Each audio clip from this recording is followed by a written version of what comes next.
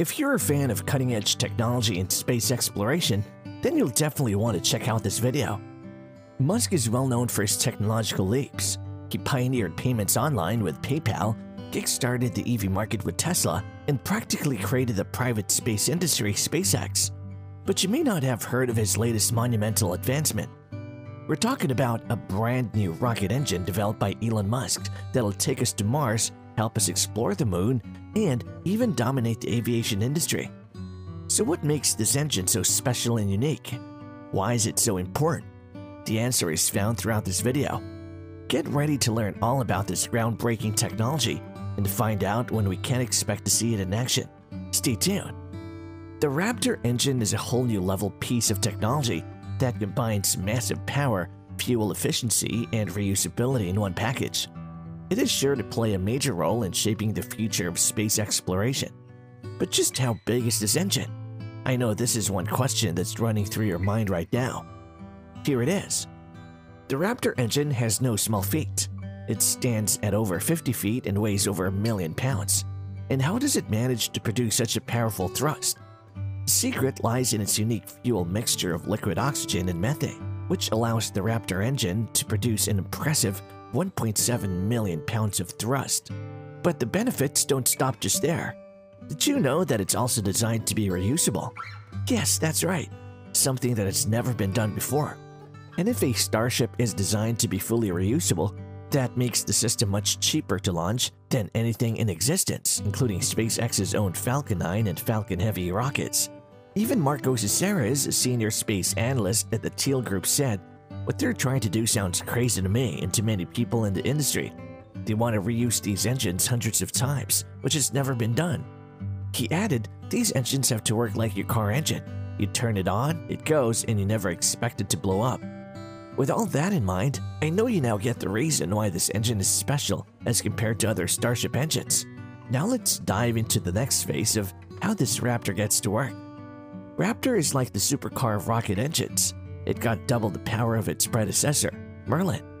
All hail to the high pressure combustion system that generates an incredible 380,000 pounds of thrust. In other words, it's like a whole fleet of sports cars combined into one engine. I know you can get the real picture of how powerful this technology is. Built with a robust and versatile body, the Raptor can get work done in a wide range of temperatures and environments. In short, it's the ultimate engine for taking on the challenges of interplanetary travel and space exploration. While the normal engines use the common open cycle system, Raptor uses what's known as a full flow staged combustion system, only the third engine in history to employ the system. A full flow staged combustion engine refers to how a pump spins a turbine to drive the engine, using what's called a preburner to get this process going by injecting a small amount of fuel. Normally, some of the propellants are expended in a traditional open cycle engine to start this process, but Raptor will use every drop of propellant available, make it one of the most efficient rocket engines ever built. The SpaceX Raptor is designed to produce an unbelievable amount of energy. We're talking about the equivalent of four Hoover dams. As such, it supplies spacecraft with kinetic energy at the rate of 11 million horsepower. By comparison, one of the most powerful cars ever made, the Bugatti Veyron, has an engine weighing 0.5 tons, a third the weight of the Raptor, but can only generate a meager 1,200 horsepower. You can now imagine how much energy is produced by the SpaceX Raptor engine.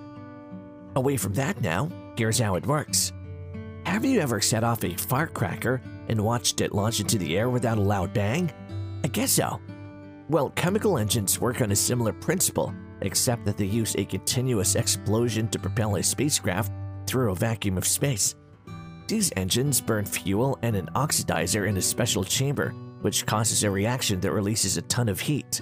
This heat causes the gases to expand rapidly, like a giant firecracker going off inside the engine.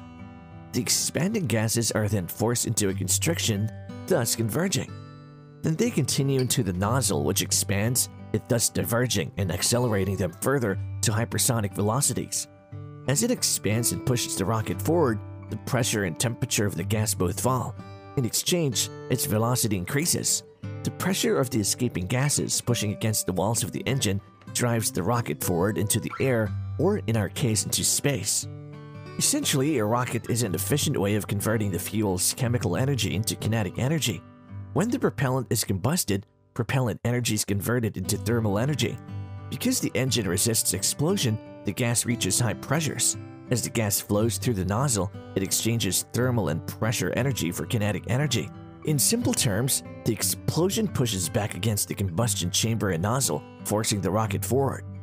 Now that you know how the Raptor engine works, let's dive into the benefits of this special engine. Why this Raptor engine? First off, as compared to the original engine, Raptor has been entirely replaced with a more simple and powerful unit. This means that this turbo machinery can fire more fuel. Further, the combustion chamber, nozzle, and electronics have also been completely reworked to make the most of this fuel. Secondly, the Raptors are welded together in a Starship effectively, reducing the number of components needed, thus making these engines lighter and easier to manufacture.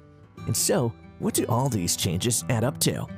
The Raptor currently has produced 247 tons of thrust. That's during the static testing. However, engineers are confident enough that they can hit 250 tons soon, which is a 35% increase in thrust for a smaller, lighter engine.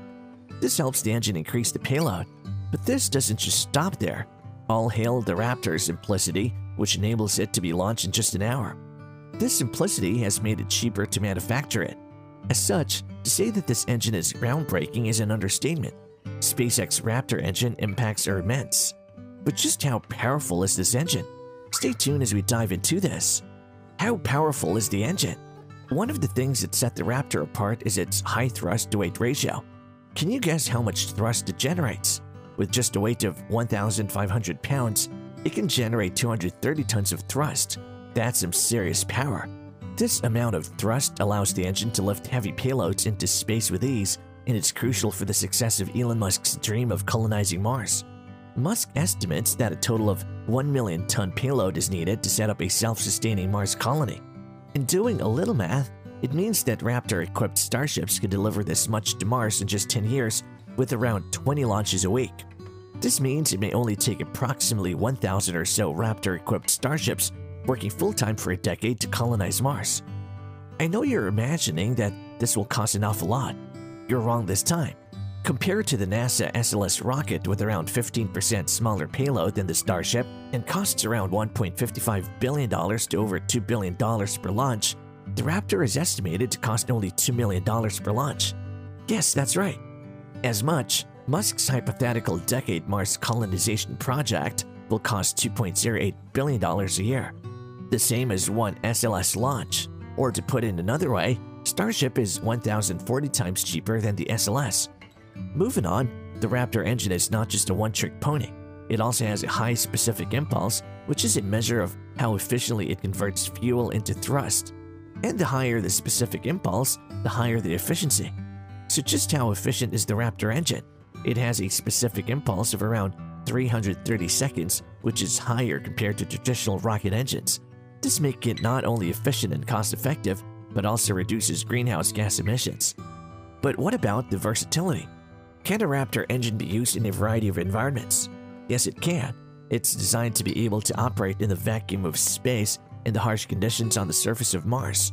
This property makes it a crucial component of SpaceX's plans to establish a permanent human presence on the Red Planet. And so with all that, the question remains, will the Raptor engine take us to Mars one day?